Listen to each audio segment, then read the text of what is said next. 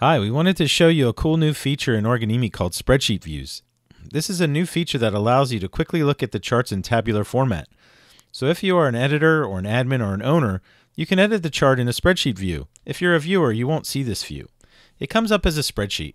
You can notice here this first column is just an index number, and then the manager and the manager position fields are locked. You can't change them. But in the other fields, I could change this title, for example. I could say this is Executive Assistant 2 or something like that. There are some interesting features to check out here. So I could select a whole row, I could select a whole column. I can hide columns. For example, we don't use phone or description or a couple of these other fields. So I can hide some things and then my chart fits the screen a bit better.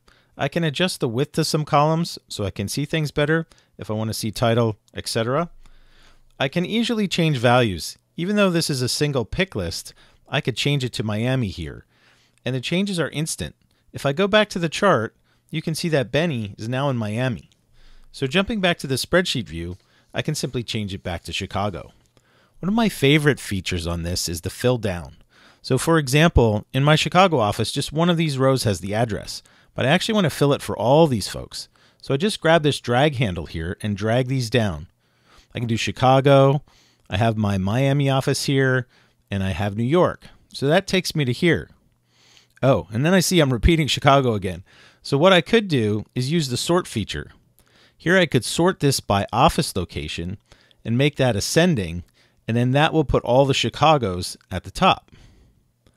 I can then just grab this again, drop this down. So for some veteran Organimi users, this will really be coming in handy for large repetitive changes.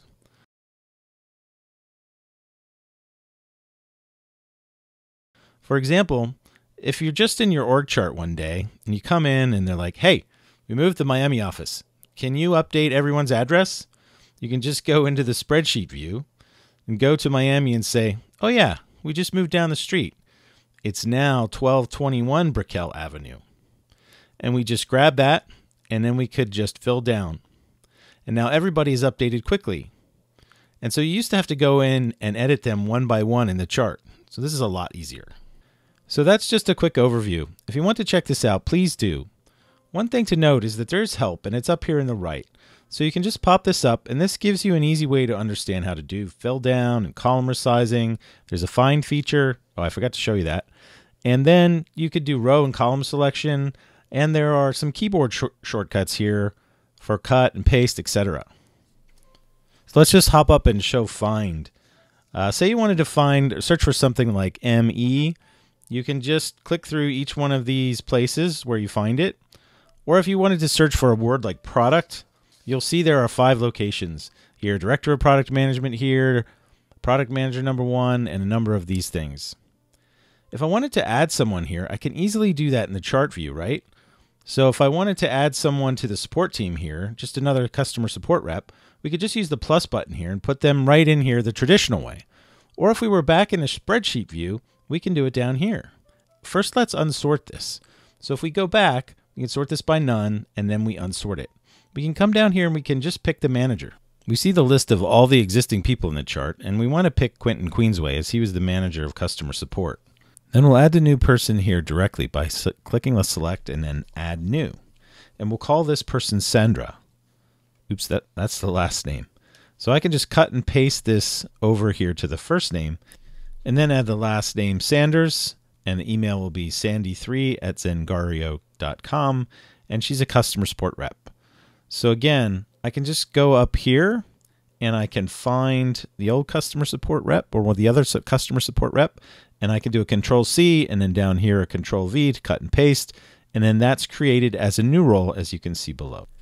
I can go back to the chart view now, and then I'll see, oh, there's Sandy Sanders.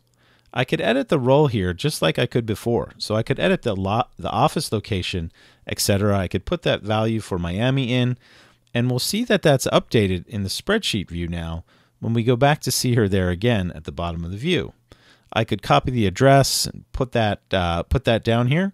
So it's pretty quick to add people through the spreadsheet view. So that is what we wanted to go through for the new spreadsheet views. Check it out. Call us if you have any issues or questions.